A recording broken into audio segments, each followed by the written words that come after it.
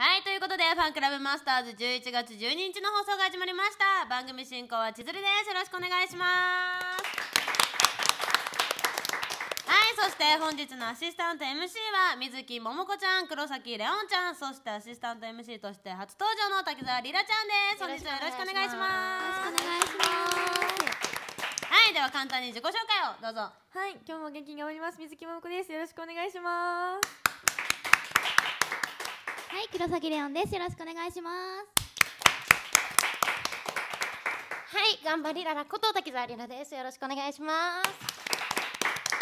はいちなみに当番組のアシスタント MC は前月10月20日までのファンマスポイントランキング4位までの入賞者より決まりました応援していただいた皆様ありがとうございましたありがとうございましあた。ということでファンマス本日も張り切ってスタートしましょうまずはファンマスの今週進捗情報からはい。おっと？慣れてない初登場だからね、はいこれ。はい。その1渋ポイントランキング。このようにちょっと分かりやすく矢印でねアップダウン。いや6位までは安定しすぎててちょっとあれですね。そうなんだ。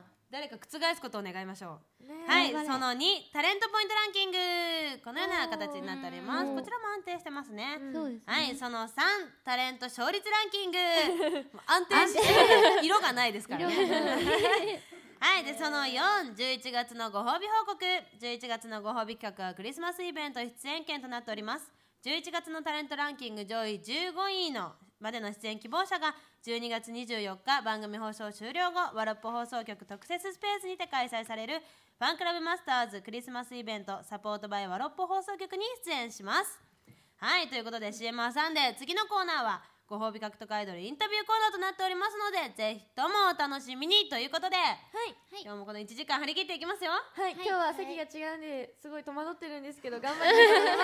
はいそうですね。リラちゃんはね初登場ということで,、そうですね。ちょっと緊張してますが、頑張ります。し て緊張しすぎじゃない？ないしてない。もう早いうちから若い目潰しとこうね。そっか一番年下。そうだね。それもあるしあんま慣れてないから、ここで潰しといてなんでどっかね狙われない優しくしてください。はいということでこの後もお楽しみください